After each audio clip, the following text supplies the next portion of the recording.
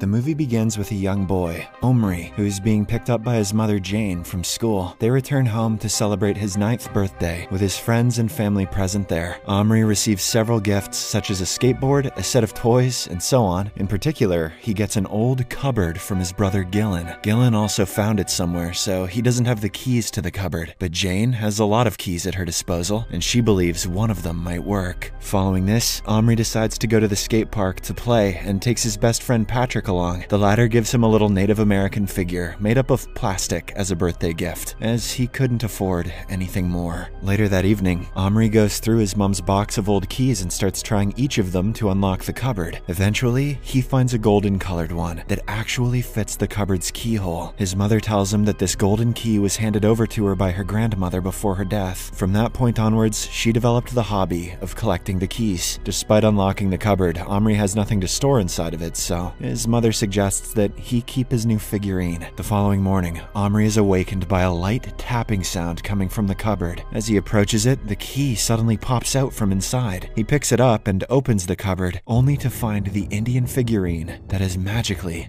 come to life. Fascinated, Omri tries to touch the tiny man, but the latter perceives him as a threat and pricks his finger with a dagger. This part scared me when I was three years old. He further addresses Omri as a demon and a giant, but before the two can communicate, Omri's father Victor summons him to get ready for school. The boy then quickly locks up the cupboard to keep it a secret from everyone. Later, at school, Omri tells Patrick that the figurine he gifted was awesome and that he loved it. He then waits anxiously for the school day to end. As soon as he arrives home, he rushes straight to his room, but much to his dismay, the Indian has reverted to his original plastic form. But that night, Omri overhears the tapping sound one more time. Overjoyed, he rushes to open the cupboard and finds the tiny man alive again. Although initially frightened, the man introduces himself as Little Bear, an 18th century Iroquois from the Wolf clan. He assumes that Omri is a great spirit called the Peacemaker in a child's form. As the two go on conversing, they quickly form a friendship. Little Bear explains that he learned English in 1761 when he was fighting in the French and Indian War on the side of the British. Omri then picks him up in his hand and brings him out of the cupboard. Shortly after, he gets a plastic teepee for the tiny man to sleep in, but the latter is unsure of the strange material that it's made from. As a result, Omri puts the teepee in the cupboard, transforming it into a real miniature dwelling. Later that night, the boy decides to test the capabilities of the magical cupboard. He goes to get lots of Barbie dolls.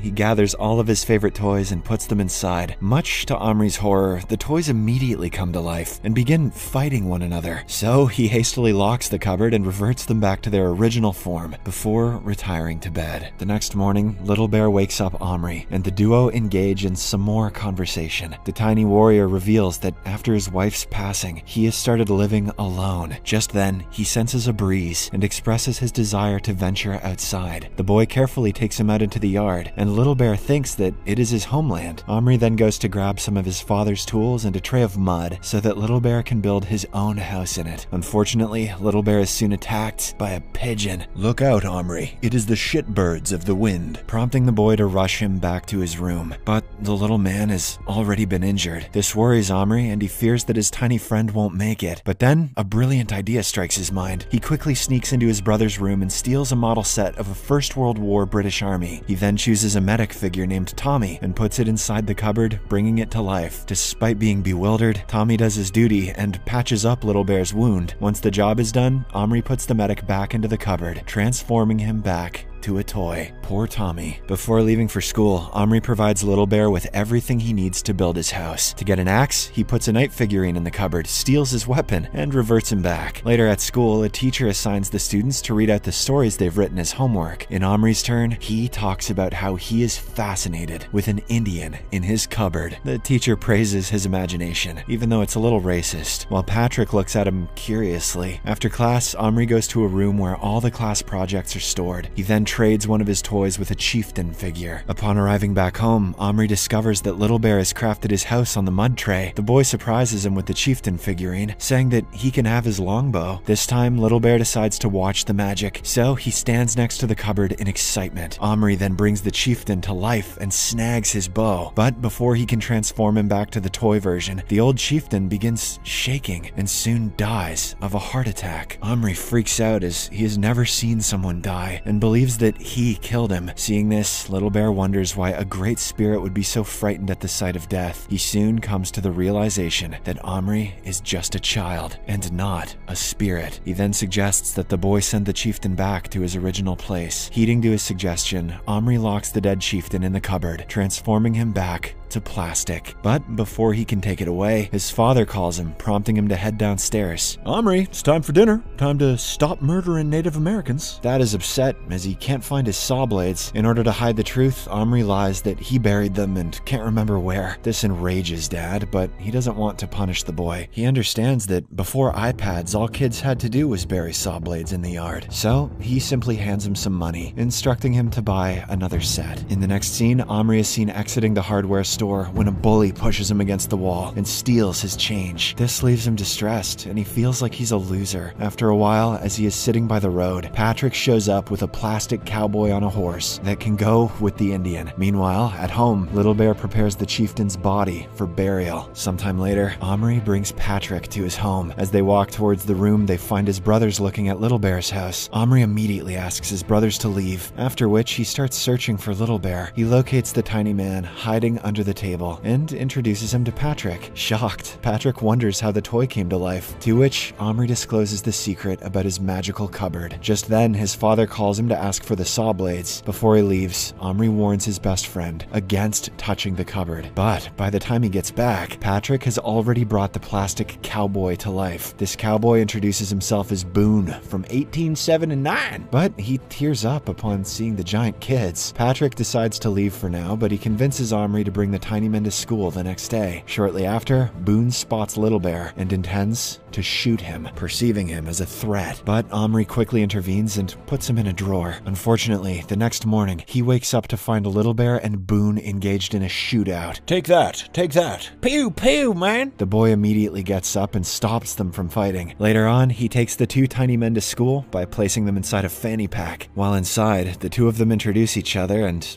start conversing. No matter what side you're on, the fanny pack humbles all. They soon bond over their memories of the rivers and terrain they used to travel along. Little Bear reveals how his wife died due to chickenpox, bringing Boone to tears. While Omri goes in front of the class for a presentation, Patrick holds the fanny pack. During a class break, Patrick decides to show the tiny men to some classmates, but Omri stops him just in time, reminding him of the secret. Patrick asserts that he can show his toys to anybody he likes, but Omri claims that they are real humans, not toys. Their argument draws the teacher's attention, who then asks Patrick to show what's in the fanny pack. Omri yells that they're just plastic toys, which the tiny men hear. As a result, they act like plastic figurines as Patrick takes them out, successfully fooling the teacher. In the aftermath, the two friends reconcile and decide to sleep over at Omri's place. They then steal an Indian tribal girl from the school, intending to make her Little Bear's wife. Once they arrive home, Omri presents the Indian girl figurine to Little Bear, saying that she'll be his wife. Getting your toys laid is every child's dream. But just when he proceeds to transform it, he realizes that the cupboard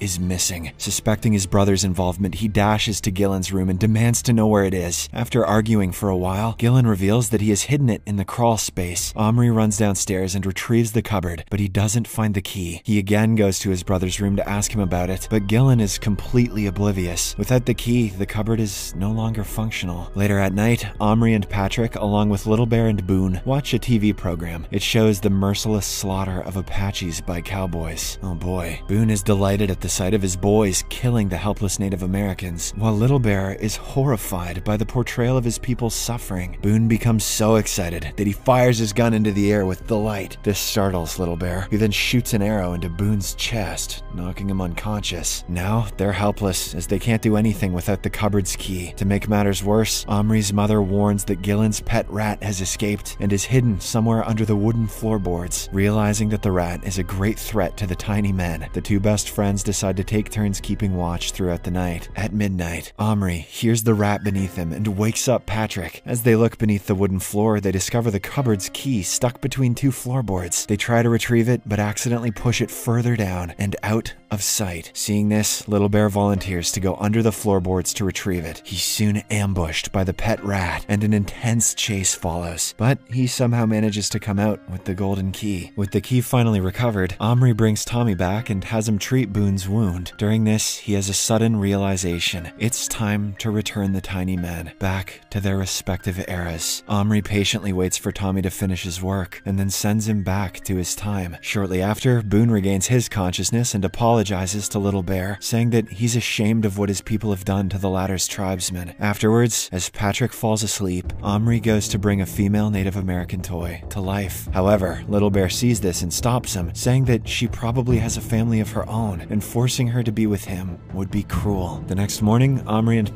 Patrick say their goodbyes to their little friends. Before departing, Little Bear tells Omri that if he was one of his people, he would accept him as his nephew. As he goes on speaking, the boy visualizes himself as a life sized version of Little Bear, who accepts him into his tribe. Following this, the two tiny men bid farewell to one another and assume their positions before Omri locks the cupboard. The movie ends with Omri reading his story regarding Little Bear in front of the class. Though unsure of Little Bear's fate, he assumes that the tiny man found a new wife and had lots of children.